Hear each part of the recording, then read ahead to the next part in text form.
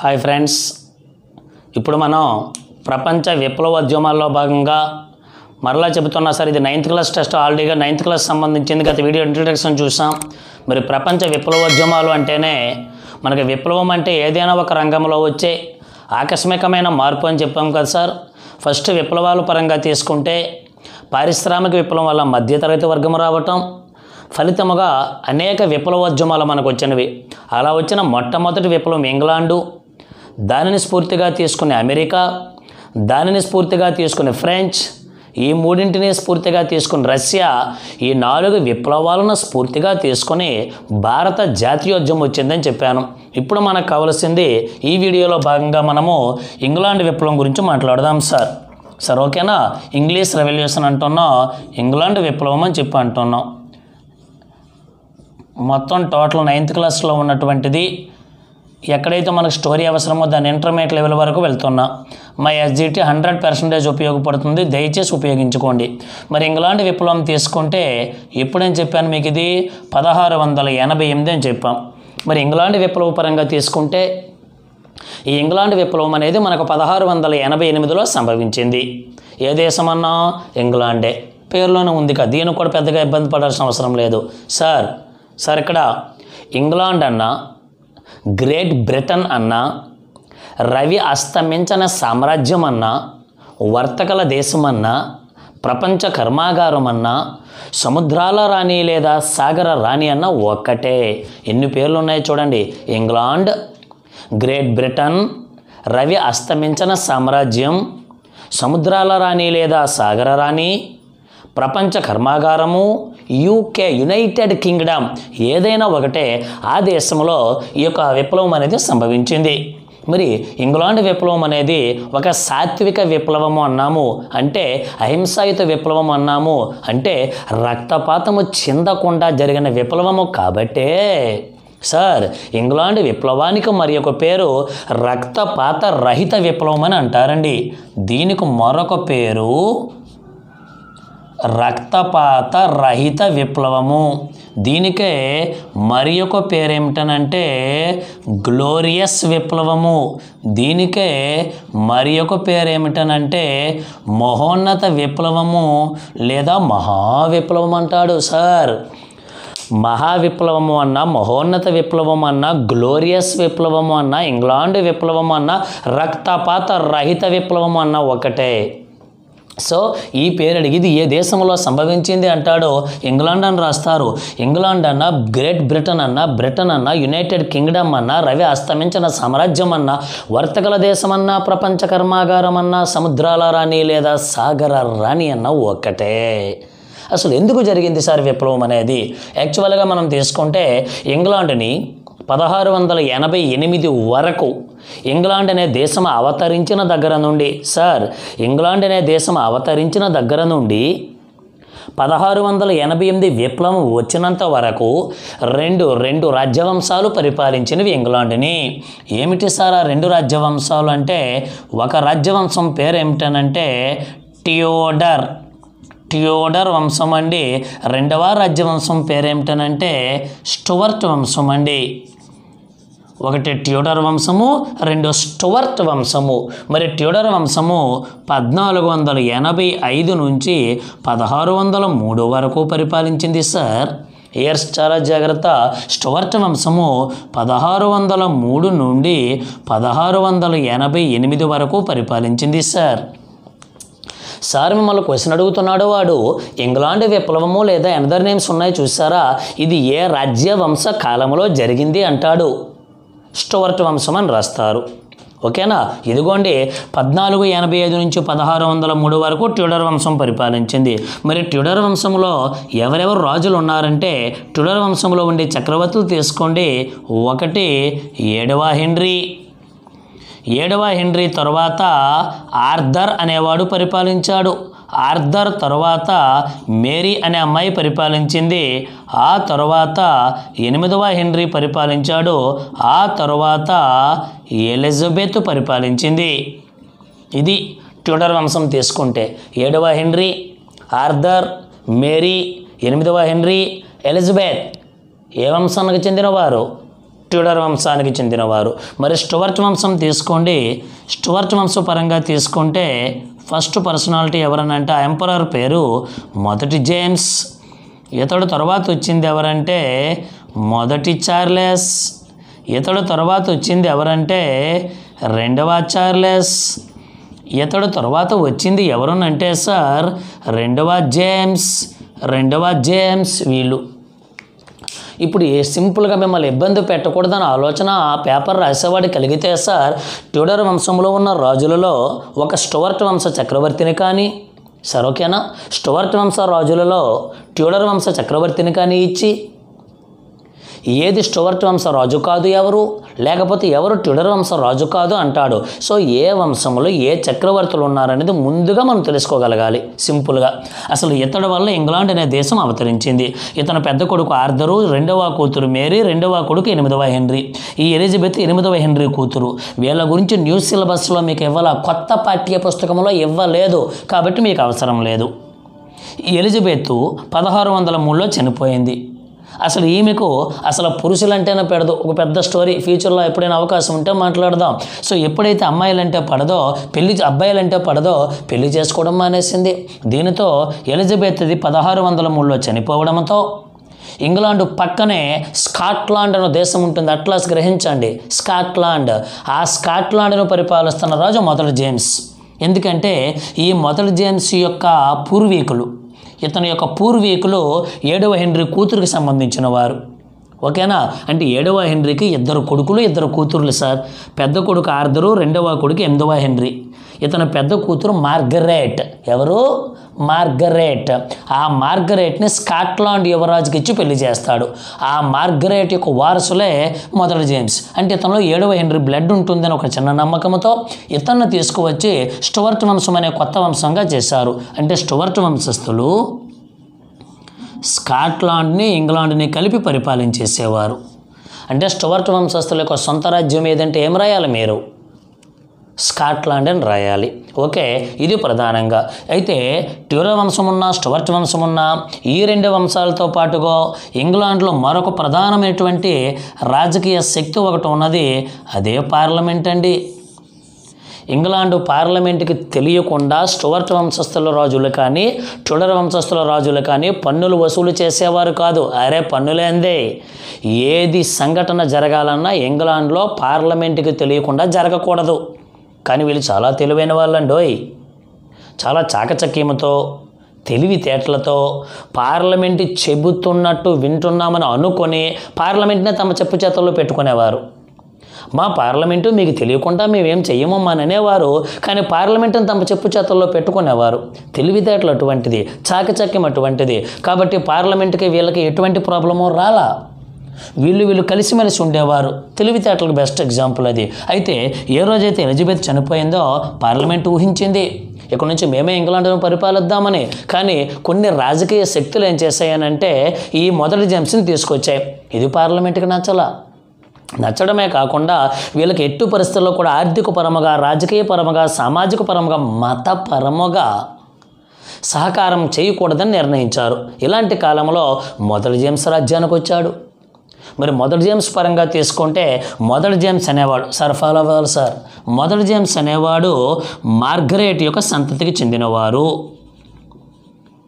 Margaret అనే సంతతికి చెందినవారు. ఎవరి మార్గరేట్ అని చెప్పాను? ఏడవ హెన్రీ యొక్క పెద్ద కూతురు. ఓకేనా? మార్గరేట్ యొక్క వారసుడైన మొదటి జేమ్స్ పదహారు వందల మూడవ సంవత్సరంలో ఇంగ్లాండ్ దేశానికి స్కాట్లాండ్ దేశానికి కలిపి చక్రవర్తిగా ఎన్నికయ్యాడు.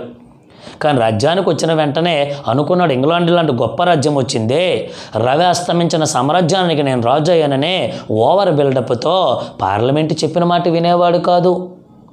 కానీ పార్లమెంటుకి పార్లమెంట్కి అనుమతి లేకపోతే ఏది వసూలు చేయకూడదని తెలుసుకునేసరికి ఇతను వయసు అయిపోయేది. జరగాల్సిన సంఘటన జరిగిపోయినాయి. ఇతడు నిరంకుశ స్వభావాలు కలిగినవాడు సార్. మరీ మొండి పొట్టుదల కలిగినవాడు. నిరంకుశ స్వభావాలు కలిగినవాడు మరీ మొండి పట్టుదల కలిగినవాడు. ఎవరంటే మొదటి జేమ్స్. టీటీసీ వాళ్ళకండి డైట్ వాళ్ళకండి అరే డీసెట్ రాశారు రీసెంట్గా వాళ్ళకి అడిగిన క్వశ్చన్ అండి. నిరంకుశ స్వభావాలు కలిగినవాడు మరియు మొండి పట్టుదల కలిగినటువంటి ఇంగ్లాండ్ చక్రవర్తి ఎవరు అంటే మొదటి జేమ్స్. వీళ్ళు రావడమే ఇష్టం లేని పార్లమెంటుకి ఇలాంటి మోనార్క్గా ఉండి ఆ బి వీహించిన బిల్డప్లు ఇస్తే ఊరుకుంటుందా? అస్సలు డబ్బులు ఇవ్వటం మానేసింది. పాపం చక్రవర్తులు అంటేనే విలాసవంతమైన జీవితాన్ని గడిపిన వాళ్ళు. ఏం చేయాలో తెలియక ఈ మొదటి జేమ్స్ ఏమో ఏకపక్ష వ్యాపార హక్కులను అమ్మాడు. ఏకపక్ష వ్యాపార హక్కులను విక్రయించినటువంటి ఇంగ్లాండ్ చక్రవర్తి ఎవరు? బీడి వాళ్ళకి అడిగిన బిట్టు మొదటి జేమ్స్. నిరంకుశ స్వభావాలు కలిగినవాడు మండు పట్టుదల కలిగినవాడు మార్గరేట్ వారసత్వానికి చెందినవాడు స్టువర్ట్ వంశానికి సంబంధించిన చక్రవర్తి స్కాట్లాండ్లో ఇంగ్లాండ్ను కలిపి పరిపాలించినవాడు ఏకపక్ష వ్యాపార హక్కులను అమ్మినటువంటి ఇంగ్లాండ్ చక్రవర్తి మొదటి జేమ్స్. ఏకపక్ష వ్యాపార హక్కులు అంటే వర్తకుల వద్ద నుండి వసూలు చేసే పన్నులు. నేను రాజ్యాన్ని పరిపాలిస్తున్న కాలంలో ఎవరైనా వ్యాపారం చేసుకోండి నాకు పన్ను కట్టండి అనేవాడు. పార్లమెంట్కి సంబంధం లేకుండా. ఓకేనా? ఇది మొదటి జేమ్స్ పరంగా మనం పరిశీలించినట్లయితే. సో ఇది ఇంతే కాకుండా ఇతను ఎలాంటి వాడంటే రాచరికం దైవ దత్తాధికారం అనే సిద్ధాంతాన్ని నమ్మినవాడు. రాచరికం దైవదత్తాధికారము అంటే అర్థం ఏమిటనుకున్నారు అరే నేను దేవుడు ఒకటే. దేవుడు కనిపించగానే నమస్కరిస్తారే నాకు నమస్కరించండి అనేవాడు. రాచరికం దైవ దత్తాధికారం అనే సిద్ధాంతాన్ని ఇంగ్లాండ్లో ప్రవేశపెట్టిన చక్రవర్తి ఎవరు? మొదటి జేమ్స్.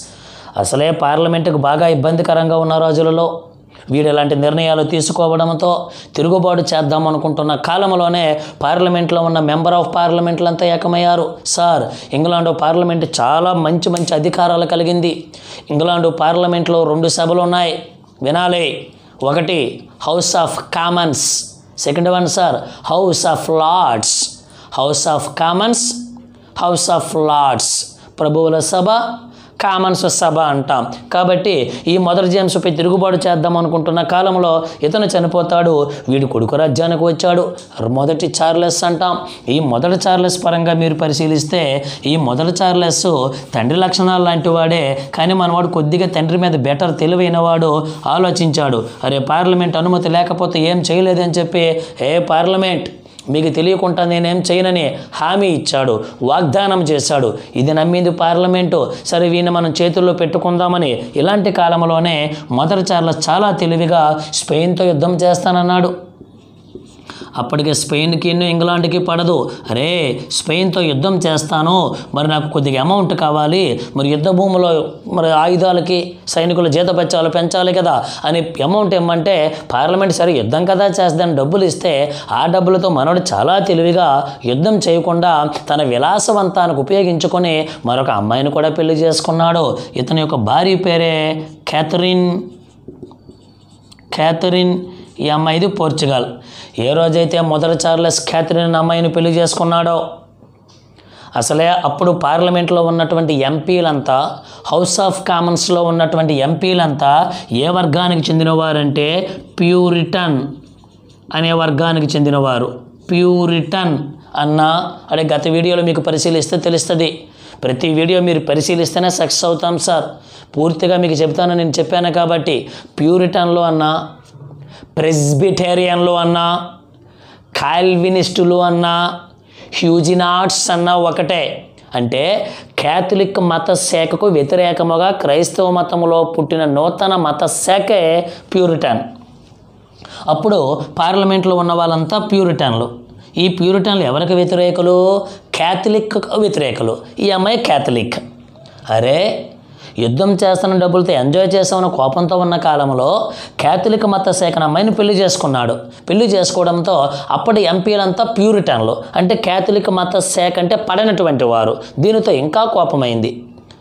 అర్థమవుతుందిగా బాగా కోపంతో ఉన్న వారికి ఎటువంటి చిన్న సంఘటన చేసినా పెద్ద ఇష్యూ అయిపోతుంది ఆ టైపులో. ఏ రోజైతే జరిగిందో వెంటనే మొదటిసారిలో తీవ్రంగా ఆలోచించాడు. ఆలోచించి ఇలా కాదని చెప్పి ఎందుకు పార్లమెంట్తో నాకు అనవసరమైన తగాదని చెప్పి పార్లమెంటుతో ఒక ఒప్పందం చేసుకుందామని ఇంగ్లాండు పార్లమెంటుని సమావేశపరిచాడు. ఎప్పుడంటే పదహారు వందల నలభైలో ఆ పార్లమెంటు పదహారు వందల అరవై వరకు కొనసాగింది. ఇరవై సంవత్సరముల పాటు జరుగుతూ సమావేశాలు జరుగుతూ జరుగుతూ జరుగుతూనే ఉన్నాయి. ఇది మొన్న డిఎస్సి బిట్స్. సార్ ఇరవై సంవత్సరముల పాటు సార్ ఎవరి కాలంలో మొదటి చార్లెస్ కాలంలో జరిగినటువంటి ఈ పార్లమెంటునే దీర్ఘకాలిక పార్లమెంట్ అంటారు. లాంగ్ పార్లమెంట్ అన్నా దీర్ఘకాలిక పార్లమెంట్ అన్నా మొదటి చార్లెస్ కాలంలో జరిగిందన్నా ఒకటే పదహారు నలభై నుంచి పదహారు అరవై వరకు జరిగింది. అప్పుడు ఈ పార్లమెంట్లో ఉన్న సభ్యులు ఎక్కువ మంది ఏ మత శాఖ?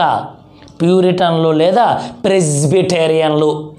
అయినప్పటికీ తను తిరుగుబాటు చేద్దాం అనుకున్నారు. ఇలాంటి కాలంలోనే మొదటి చార్లెస్ తన స్నేహితుడిని తన ప్రధానమంత్రిగా నియమించుకున్నాడు. ఆ ప్రధానమంత్రి కూడా క్యాథలిక్ మత శాఖకు చెందినవాడే. అంటే అనవసరమైన తప్పిదాలు చేస్తే జీవితం నాశనం అయిపోతుందని చెప్పడానికి బెస్ట్ ఎగ్జాంపుల్. ఎవడితను ప్రధానమంత్రి? Duke of Buckingham. దీనితో అసలే కోపంతో ఉన్న పార్లమెంటు ఇద్దరిని చంపేద్దామని ప్రయత్నించింది. ఒక పెద్ద విప్లవం తీసుకువచ్చింది. పదహారు వందల నలభై అరవై మధ్య ఇంగ్లాండ్లో జరిగినటువంటి ఆ విప్లవాన్ని మనము అంతర్యుద్ధము లేదా ప్యూరిటన్ విప్లవము అంటారు.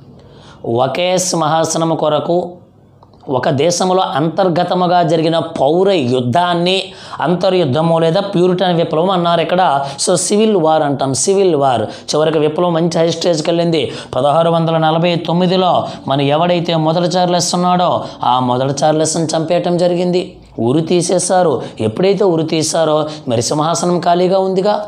ప్యూరిటన్లంతా కలిపి ఎందుకంటే ఇంగ్లాండ్ రాజును సపోర్ట్ చేసిన కొంతమంది ఉన్నారు. సో ఈ ప్యూరిటన్లకు సంబంధించిన వారు కొంతమంది ఉన్నారు ఎంపీలకి చివరకు పెద్ద విప్లవం జరిగింది. ప్యూరిటన్ విప్లవము లేదా అంతర్యుద్ధం అన్నాం. పదహారు నలభై తొమ్మిదిలో సార్ ఇయర్స్ గుర్తుపెట్టుకోండి లాంగ్ పార్లమెంట్లో భాగముగా. పదహారు నలభై తొమ్మిదిలో మొదటి చార్లెస్ను పూ ఊరి తీసేశారు. ఉరి తీయడంతో ఒక రిపబ్లిక్ అనేది ఏర్పడింది అప్పుడు. ఎప్పుడైతే రిపబ్లిక్ అనేది ఏర్పడిందో ఈ రిపబ్లిక్కు నాయకుడిగా అలీవర్ అనేవాడిని ఎన్నుకున్నారు. ఈ అలీవర్ అనేవాడు క్రామ్వెల్ అనే బిరుదుతో ఇంగ్లాండ్కు ఒక అధ్యక్షుడిగా ఎన్నికయ్యాడు పదహారు వందల నలభై తొమ్మిదిలో. ఏ రోజైతే పదహారు నలభై తొమ్మిదిలో సార్ వింటున్నారా? అలీవర్ అనేవాడు క్రామ్వెల్ అనే బిరుదుతో అధ్యక్షుడిగా అయ్యాడో. అతని పరిపాలన నచ్చల రాజులంతా ఏకమయ్యారు. ఏకమవ్వడంతో ఊహించిన విధముగా రెండవ చార్లెస్ మళ్ళా రాజు అయ్యాడు కానీ రెండవ చార్లెస్ పరంగా ఎటువంటి మ్యాటర్ మీ టెక్స్ట్ బుక్లో ఇవ్వాలా? అది ఇంటర్మీడియట్ లెవెల్లో ఇవ్వలేదు కాబట్టి సంబంధం లేదు. ఆ తర్వాత రెండవ జేమ్స్ రాజ్యానికి వచ్చాడు. మరి రెండవ జేమ్స్ పరంగా ఏదైనా సంఘటన జరిగిందంటే రెండవ జేమ్స్కి వివాహమైన తర్వాత ఒకే ఒక అమ్మాయి జన్మించింది సార్. రెండవ జేమ్స్ యొక్క కుమార్తె పేరేమిటనంటే మేరీ. ఓకేనా? రెండవ జేమ్స్ యొక్క కుమార్తె పేరు మేరీ ఈ కూతురిని ఎవరికిచ్చి పెళ్ళి చేశాడంటే విలియం ఆఫ్ ఆరెంజ్ అనే యువకుడికి ఇచ్చి పెళ్ళి చేశాడు. ఇతను దేశం అంటే హాలెండ్ అండి. హాలెండ్ అన్న నెదర్లాండ్ అన్న డచ్ అన్న ఒకటే. ఓకేనా? హాలండ్ అన్న నెదర్లాండ్ అన్న డచ్ అన్న ఒకటే. ఇదిగోండి ఆ యువరాజుకి ఇచ్చి పెళ్ళి చేశాడు. సో ఇక్కడ జరగాల్సిన తిరుగుబాటు తన కాలంలో పీక్ స్టేజ్కి పోయింది. ఇక ఇతను ఇంకా పీక్ స్టేజ్కి పోయింది. ఇప్పుడు డిసైడ్ అయిపోయారు పార్లమెంటు. రెండవ జేమ్స్ని చంపేద్దామని వెంటనే తన కూతురైన మేరీ కల్లుడైన విలియమా ఫారెన్స్కి కబురు పెట్టారు. ఏ మేరీ విలియమా ఫారెన్స్ మేము పార్లమెంట్లో ఉన్న సభ్యులంతా కలిపి మీ నాన్నని చంపేద్దాం అనుకుంటున్నాం. మీరు మాకు సపోర్ట్ చేస్తారా? లేకపోతే మీ నాన్నకు సపోర్ట్ చేస్తాను అడగంతో ఆలోచించారు. అరే మేము కానీ తండ్రి వైపు సపోర్ట్ చేస్తే యుద్ధం పీక్ స్టేజ్కి పోతుంది.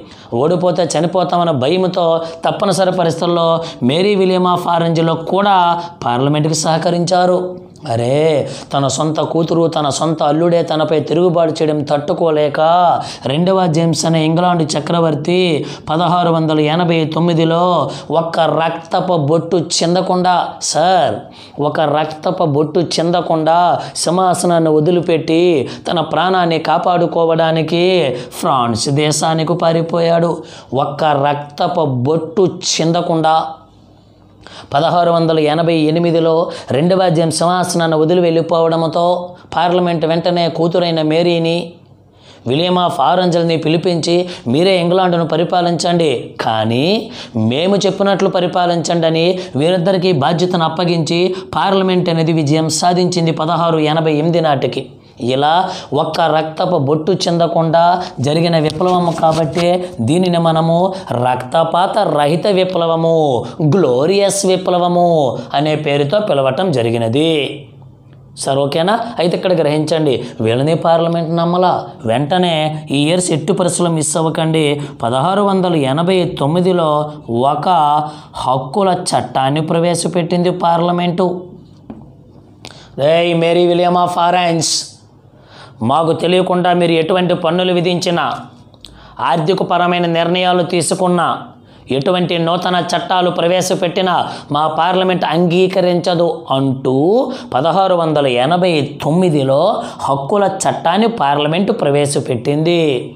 గత ప్రీవియస్ బిట్ ఏమిటంటే హక్కుల చట్టముపై సంతకం పెట్టిన ఇంగ్లాండ్ చక్రవర్తి ఎవరు అన్నాడు? మేరీ మరియు విలియం ఆఫ్ ఆరెంజ్.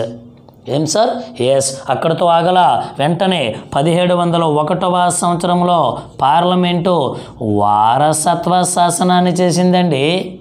వారసత్వ శాసనము లేదా వారసత్వ చట్టం అండి. దీని ప్రకారము ఇంగ్లాండు మాత్రమే ఎస్ ఇంగ్లాండు పార్లమెంటు మాత్రమే చక్రవర్తి యొక్క సింహాసనాన్ని నిర్ణయిస్తుంది. ఫర్ ఎగ్జాంపుల్ వీళ్ళు చనిపోయారు అనుకో ఎవరిని తర్వాత చక్రవర్తిగా చేయాలనే బాధ్యత కూడా పార్లమెంటుకి వచ్చేసింది. ఇక పూర్తి అధికారులు ఎవరు ఇక్కడ? పార్లమెంటు. రబ్బర్ స్టాప్ కంటే హీనము ఇంగ్లాండ్ రాజులు బతుకు. అలా అయిపోయింది చివరికి. ఇంకా ఆగారా? పద్దెనిమిది వందల ముప్పై రెండులో మొన్న డిఎస్సి ప్రీవియస్ బిట్టిది ప్రజా ప్రాతినిధ్య చట్టాన్ని తీసుకువచ్చారు. ప్రజా ప్రాతినిధ్య చట్టము. దీని ప్రకారము పార్లమెంటు నియోజకవర్గాలను కూడా పార్లమెంటే నిర్ణయించింది. అంటే పూర్తి పవర్స్ ఎవరికి వచ్చాయి ఇక్కడ? పార్లమెంటుకి. అందుకే ఇంగ్లాండు పార్లమెంటును ప్రపంచ పార్లమెంటుల మాత మదర్ ఆఫ్ పార్లమెంట్ అని పిలవటం జరుగుతుంది. ఏమంటారు? Mother of parliament is known as England parliament. England పార్లమెంట్లో ఎన్ని సభలు ఉన్నాయి సార్? రెండు. House of Commons House of Lords. ఇది ఇంగ్లాండ్ పార్లమెంటు ఇంగ్లాండ్ విప్లవం తీసుకుంటే. మిమ్మల్ని అడిగేటప్పుడు మొదటి చార్లెస్ ఇతని కాలంలో జరిగిన సంఘటనలు అంతర్యుద్ధము లేదా ప్యూరిటన్ విప్లవము లాంగ్ పార్లమెంటు తర్వాత రెండవ జేమ్స్. ఎవరు స్టువర్ట్ వంశానికి చెందినవారు? ఎవరు ట్యూడర్ వంశానికి చెందినవారు అనేది గుర్తుపెట్టుకుంటే ఈ రక్తపాత రహిత విప్లవము లేదా ఇంగ్లాండ్ విప్లవం అనేది మనకు అర్థమవుతుంది. Sir okay sir. Thank you sir.